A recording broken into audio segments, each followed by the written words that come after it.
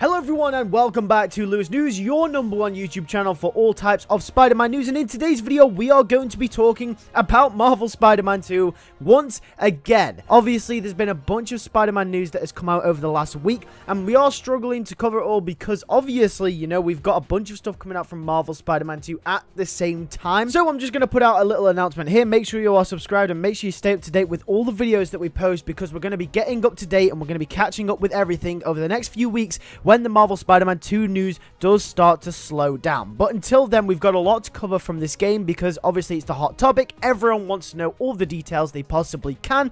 And I have got some more crucial information as to the game's runtime here for you all today. So obviously, as we do know, a couple of weeks ago, it was revealed how big the game would actually be. And it's closing in on 100 gigabytes of storage for the PS5. Well, now we actually do know how much content and the runtime of the game itself. So a website that goes by the name of VG247.com did an interview with Insomniac Games and they asked Insomniac how long the game will actually be. And it turns out they said that the game will actually be a similar length to the first game. And the reason as to this, and I quote, they said that Spider-Man 2 is in the same ballpark as the first game in terms of overall playtime, which was a quote from Ryan Smith, who is the senior game director at Insomniac Games. He also then went on to say, and we really thought about how to make each of the moments a little bit more epic, or go a little bit deeper, or a little bit more story integrated. Now, for those of you who don't know, the first game, Marvel Spider-Man, was around 17 and a half hours long to complete the main story. So that's from the first mission to the final mission. The whole story, just for your average player, would take around 17 and a half hours in that ballpark in that range. And the whole game as a whole including side quests obviously the collectibles and the unlockables everything the whole game would take you around 35 hours to complete. And that is to 100% platinum the game. So it seems like the game will be exactly the same length as it was for Marvel Spider-Man 1 so everything from the missions the story everything all the same beats it looks like it's going to be following a similar pattern in terms of length. So don't expect the main story to take any longer than 20 hours to complete. Obviously, there might be a few minutes or maybe even an hour or so here and there, give or take, but I wouldn't expect anything more than 20 hours. Now, some people are really disappointed by this, but I think Insomniac gives a really good reason as to why it is the same length and not longer than the first game. And it is the fact that they wanted to make every single moment special, they wanted to make every single moment in this game matter to the overall story,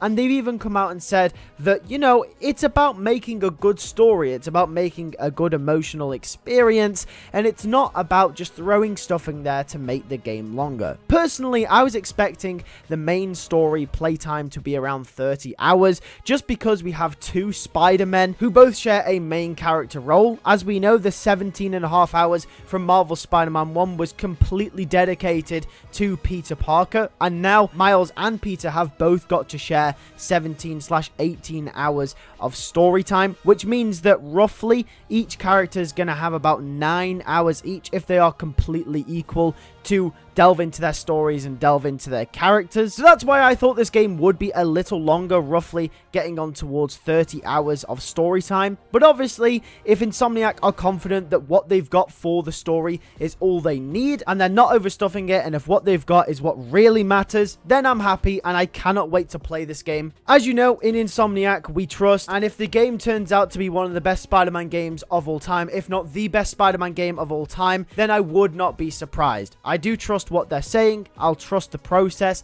And I'm really excited, as I said, for this game. Let me know in the comment section down below what do you think about this. Are you excited for Marvel Spider-Man 2? Do you wish it was a little bit longer than the first game?